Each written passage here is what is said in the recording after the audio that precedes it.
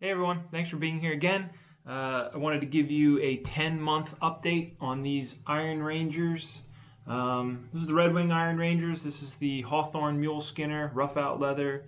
Um, and this is what um, they look like after 10 months of pretty much daily wear at this point, all weather. Um, and yeah, they're, they're, they're looking pretty cool. A couple things here. I did get uh, boot trees from Woodlore. One of you uh, awesome viewers um, had suggested that I get some boot trees, so I did that. And I've been using them for about, I don't know, three or four weeks now. I don't think I've used them enough to give my full opinion on them, so I'm gonna hold that off for, for a future video maybe, if you're interested. Uh, so I got those. Uh, and the only other thing that I'm seeing as I kind of spin around here, you can see how they're how they're wearing in. Um, the only other thing that I'm really kind of frustrated with these days is the soles.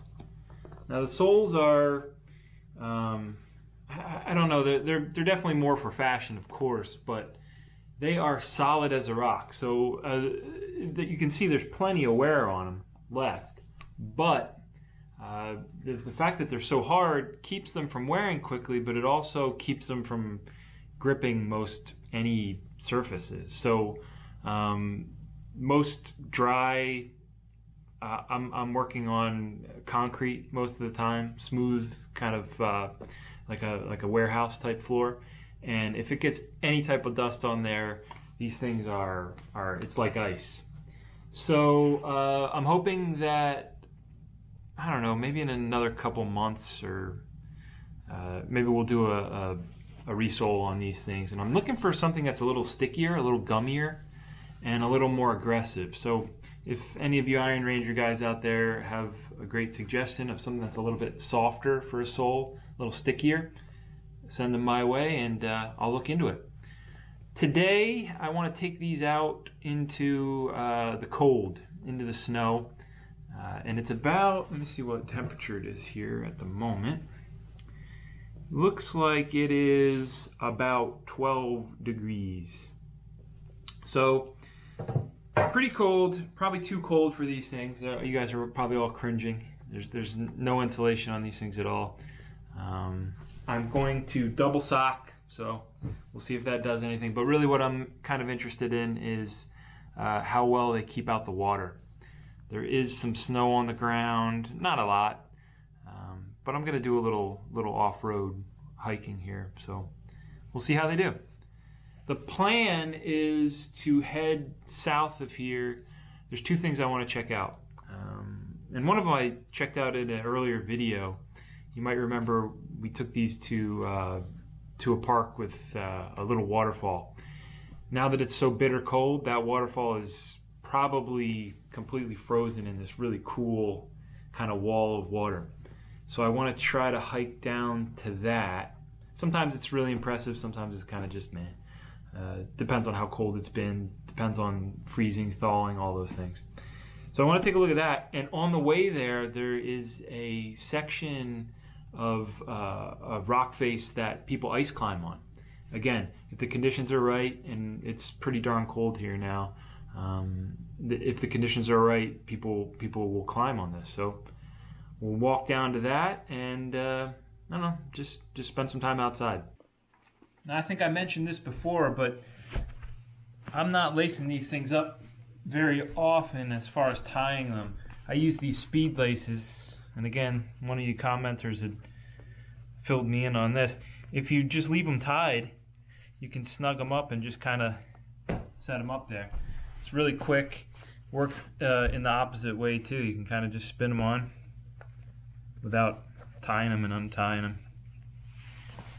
Much quicker, especially in the wintertime when your uh, your shoes are always kind of uh, muddy and you want to take them off every time you come in the, the door. So quick to just kind of spin them off here and you're out of them. It's great.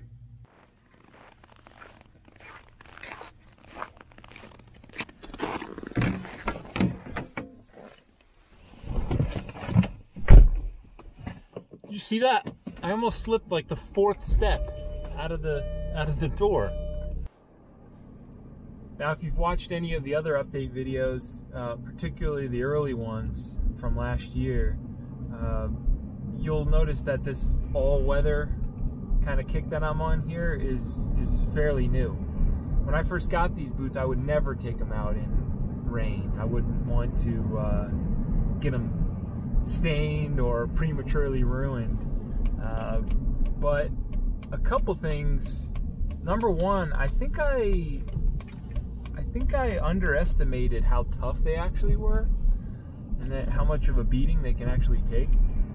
And the second thing is if you don't wear them very often, you never wear them in, you never soften them up, they never get molded to your foot. So they're never truly comfortable. Uh, it, it, took it took weeks um, to get them to a point where they felt just a part of my foot, which is what I think everybody wants to, to get to. I can't imagine having three or four pairs, and I know that a lot of you guys watching um, are probably have multiple pairs of these things. It must take forever to wear in multiple pairs to the point where they're all comfortable and something that you want to have on your foot. It's part of the reason why I haven't gotten another pair. Believe me, I've, I've seen a whole bunch of other pairs of boots out there, but I, I feel like I feel like these things are just getting kind of good.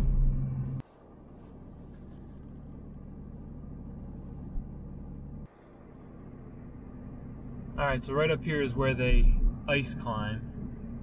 And I can see there's some cars up here, so it, I would imagine that somebody's probably doing something.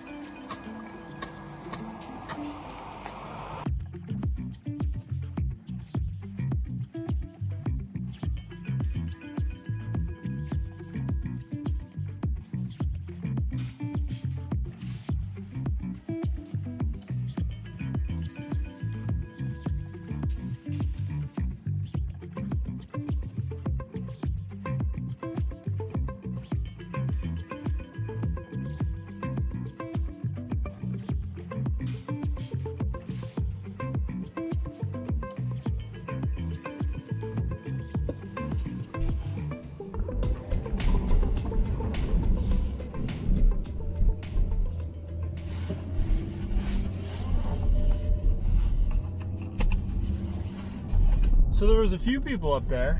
Uh, man, it is freezing cold and those people are crazy. If you quietly listened, even though it's uh, 17 degrees right now, if you listened when you walked up to it, you could hear the water running down. It was really, it was really kind of neat. All right, on to the next spot. Let's get a little walking in. And just to give you a quick idea of how cold it is, look at the ice flow coming down the river here.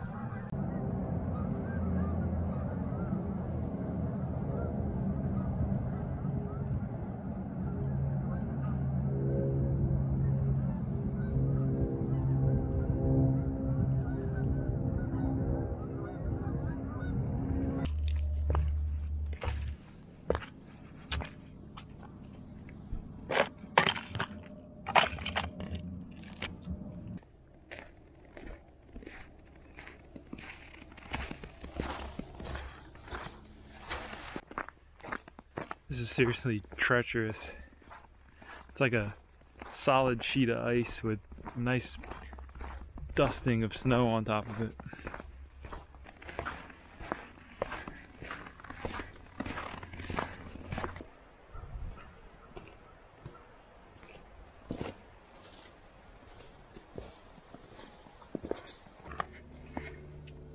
You gotta be some kind of a nut.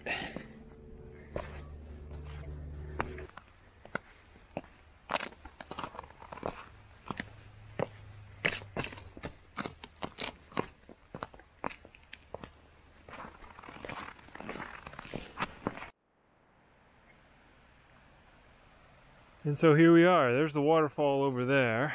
It's about 20 or 30 feet down below. I'm not going to get much closer because the drop over there is pretty unforgiving. But I think I can go this way, probably crab walk down through here and uh, get a better look at the falls. Well, that was among the dumber things that I've done this decade for sure. Was a solid sheet of ice. And of course I thought I could thought I could handle it, but the further down I went, the worse it got. And then I had to turn around and come back up, so whew, lucky to get out of that for sure. Jeez. So then if you're here wondering if they'll work for snow and ice, I'd say the answer is a resounding no. No, they won't. But I will say that they are dry, but I think it's dry because it's so cold. It's not even melting enough to get the boots wet. And as far as warmth, they're fine. Double sock works okay. Well, I think I've seen all that I need to see, for sure. um, obviously, they're not meant for this kind of terrain. I actually don't think Merrells or anything else would would have been any better. You, anything short of crampons, I think would would have performed just as poorly. So I'm going to call it a day. Head back to the car, and uh, thanks for watching. I'll catch you next adventure. See ya.